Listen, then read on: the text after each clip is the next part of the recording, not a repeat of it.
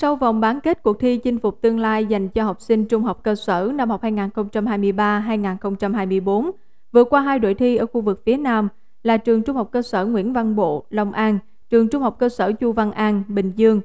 Đội trường Trung học cơ sở Lê Quý Đôn, thành phố Long Khánh đã xuất sắc vào chơi ở vòng chung kết. Đây là cuộc thi do Đài truyền hình Việt Nam lần đầu tiên tổ chức và là cuộc thi toàn năng dành cho học sinh trung học cơ sở diễn ra tại ba miền Bắc Trung Nam, chín địa phương với gần 400 trường trung học cơ sở và hơn 1.000 học sinh tham gia.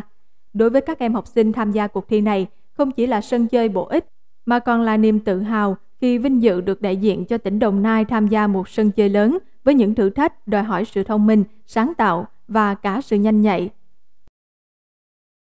Đây là cuộc thi được tổ chức lần đầu tiên, con không biết được là nó sẽ bao gồm có những vòng thi nào và phải chuẩn bị như thế nào. Nhưng mà sau đó được sự động viên của các thầy cô thì con cảm thấy ờ, nhẹ nhàng hơn, con cảm thấy rằng đó là một sân chơi. Và cuối cùng ờ, khi đến được vòng chung kết chắc chắn là đội nào cũng sẽ mong muốn rằng mình sẽ là đội chiến thắng. Nhưng mà thắng thua đối với tụi con sẽ không quan trọng bằng việc chúng ta con có thể lan tỏa được những giá trị văn hóa và truyền thống của Long Khánh đối với uh, mọi miền của tổ